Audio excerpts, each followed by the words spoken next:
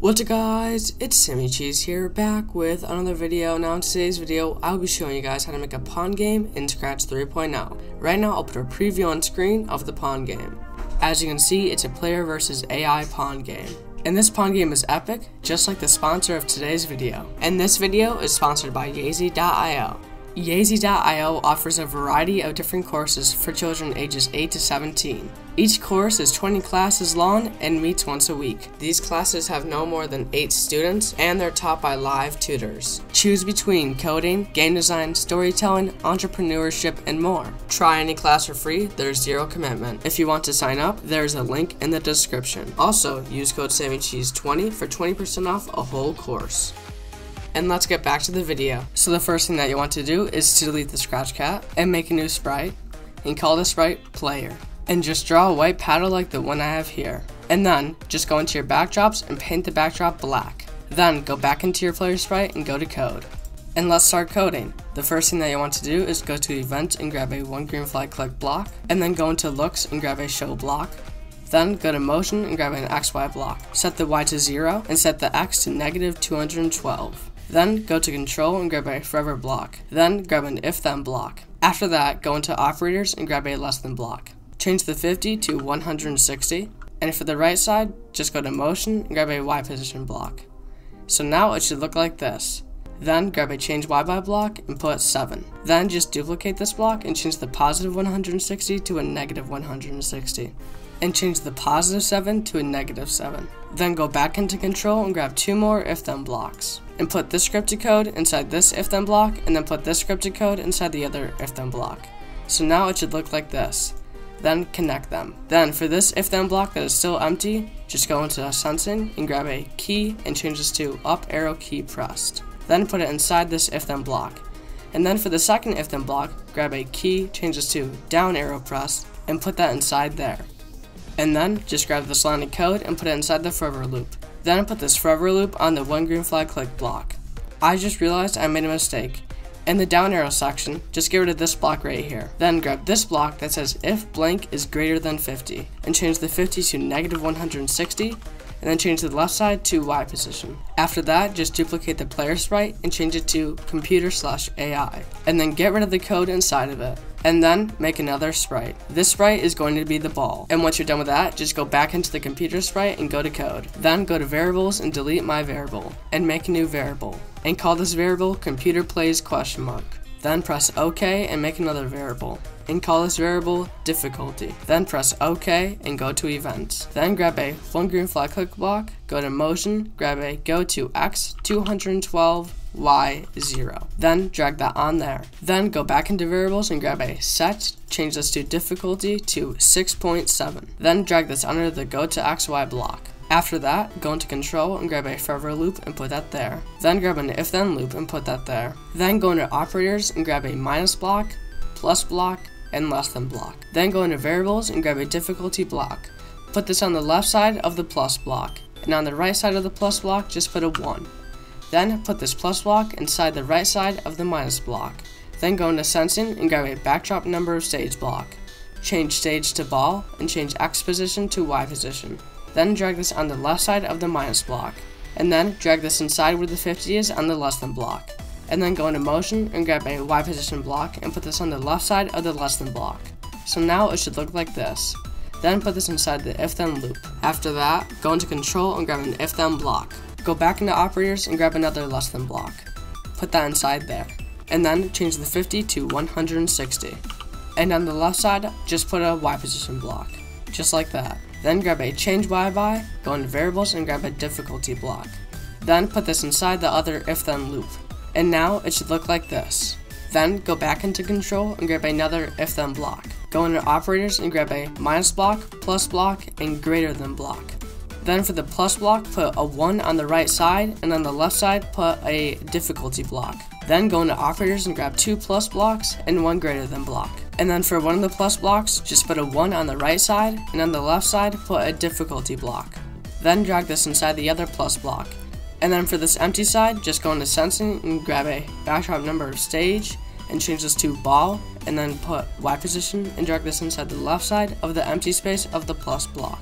And then put this on the right side of the greater than block. And for the left side of the greater than block, go to motion and grab a Y position block and put that there. Then put this inside the empty if then loop. So now it should look like this. After that, go into control and grab a if then block. Then go into operators and grab a greater than block and put this inside the empty if then loop block. Change the 50 to negative 160 and then go into motion and grab a Y position block and put this on the left side of the greater than block. Then grab a change Y by block Go into operators and grab a minus block. Put 0 on the left side of the minus block, and on the right side, just put a difficulty block. Finally, drag this inside this if then loop block and put this under the other if then loop block.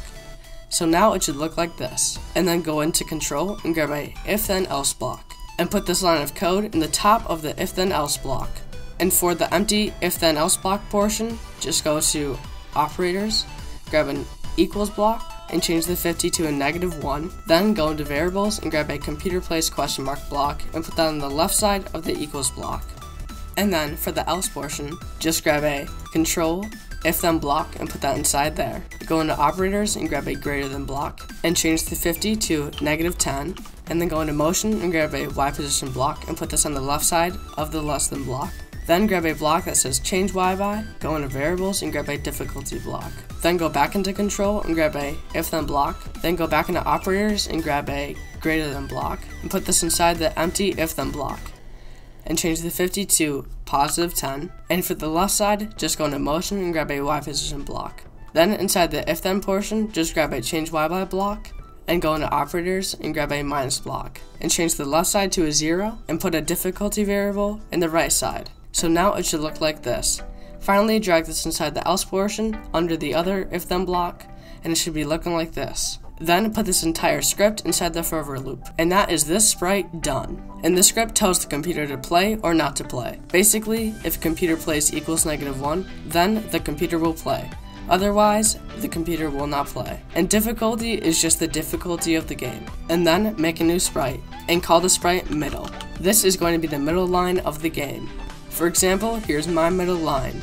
Then go back into ball and go to code and go into my blocks and make a new block and call this block move. Press add an input and put X. Then press add a label and put steps without going through paddle. Then check run without screen refresh and press OK. And this is just saying move blank steps without going through the paddle. So this makes sure the ball does not go through the paddle.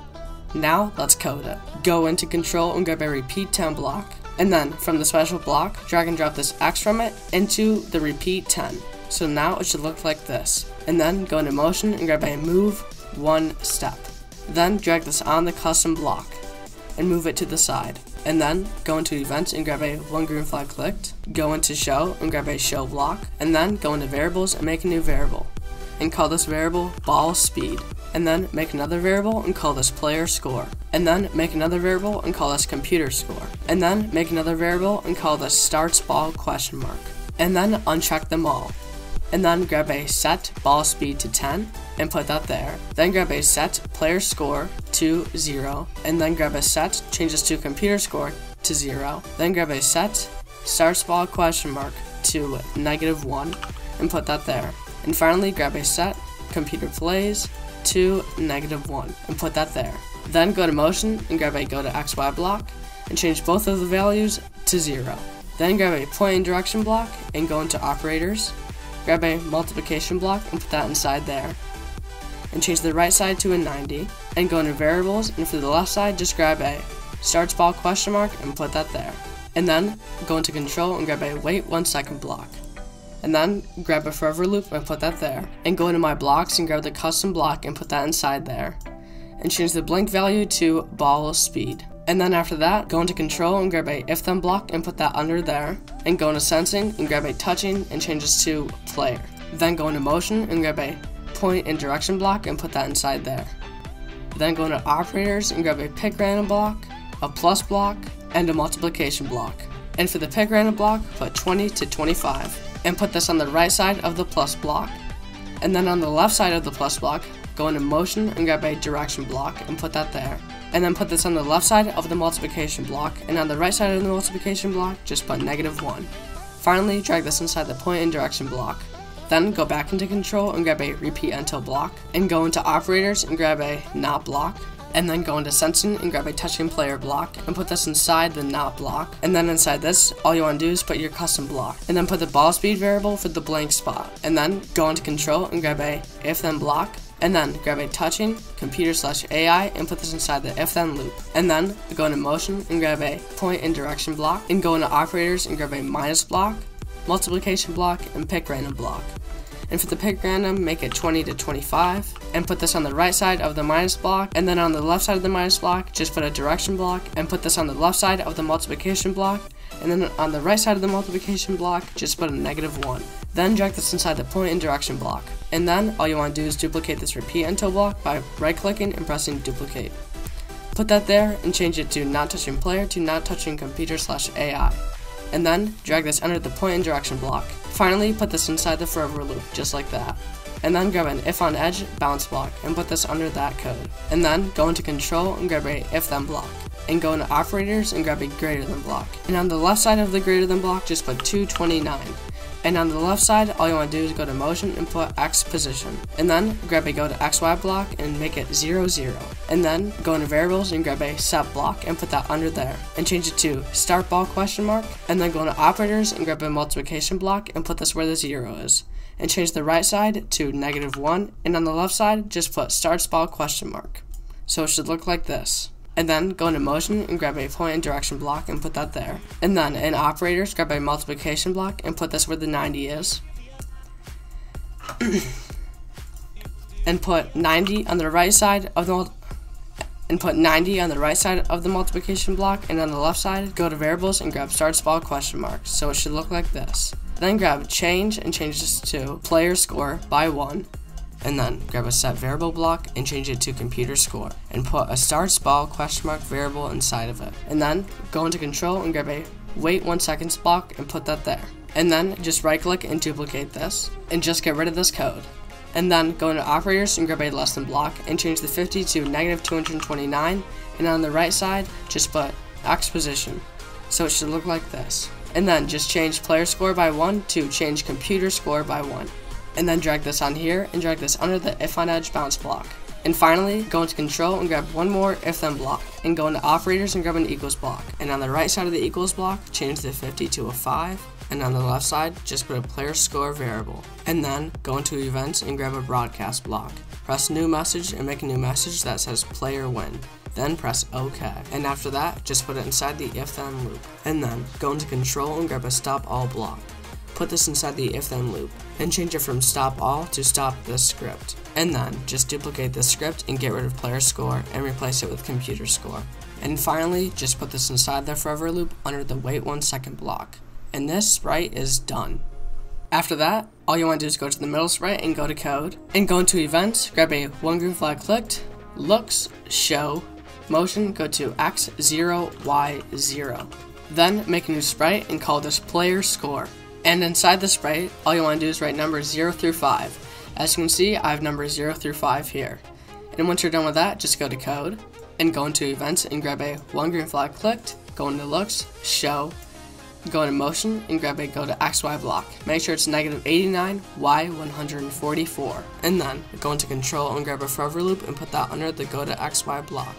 Then go to looks and grab a switch costume to block. And go into operators and grab a plus block and change the right side to a 1 and change the left side to player score, just like that. And then just right click on player score and duplicate it and call this computer score. And then inside computer score, change negative 89x to positive 89x. Also change player score to computer score. And finally, just make a new sprite and make a you lose and a you win screen. For example, here are mine, you win and you lose. After that, just go into code and the first thing that you want to do in this right is go to event, grab a one green flag click block, go into looks and grab a hide block. Then go back into events and grab a when I receive block and make sure it says computer win. Then go into motion and grab a go to x0 y0 block. Put that there and go into looks. Grab a go to front layer block and then grab a show block and finally grab a switch costume to block and make sure it's the costume where it says you lose and put that on there. And then all you want to do is right click and press duplicate and change it to player one and change it to the player one block and change the costume to the player one costume. And one quick thing, I forgot one scripted code inside the boss right. So go back into the boss right and go to event and grab a one green flag click block and then go to control and grab a forever if then block. And then drag this on the one green flag click block. And inside the if then portion, all you want to do is go to sensing and grab a if touching middle. And then inside the if then block, go into control and grab a wait until block and put that there. Then go into operators and grab a not block and put that there. After that, go into sensing and grab a touching and change this to middle. And then go into variables and grab a set block and put this under the wait until block and change this from ball speed to computer plays question mark. After that, go into operators and grab a multiplication block and put that inside where the zero is and change the right side to a negative 1 and for the left side all you want to do is just put computer plays question mark. Also, there's another error in the ball sprite and the error is right here in the ball sprite where it says if axis position is greater than 229 then set computer score to starts ball. It should say set computer plays to starts ball, not computer score. Also, the same error is that where it says if x position is less than negative 229, then set computer score to start ball, but it should be set computer plays to start ball. And that's it for this video. If you have any other errors, please let me know in the comment section. Anyway guys, peace out.